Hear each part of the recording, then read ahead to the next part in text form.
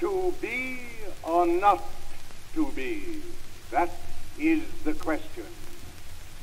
Whether 'tis nobler in the mind to suffer the slings and arrows of outrageous fortune, or to take arms against a sea of troubles and by opposing end them.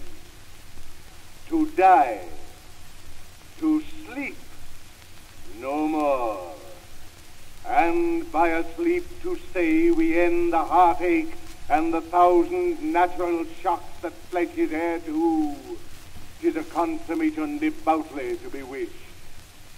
To die, to sleep, to sleep, perchance to dream.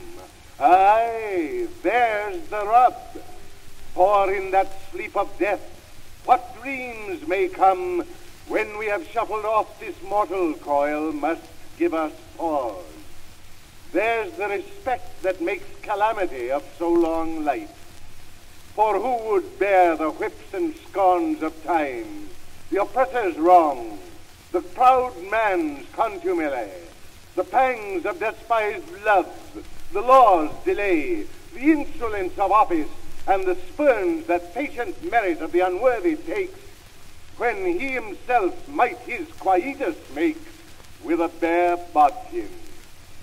Who would fardels bear to grunt and sweat under a weary life, but that the dread of something after death, the undiscovered country from whose bourne no traveler returns, puzzles the will, and makes us rather bear those ills we have than fly to others that we know not of.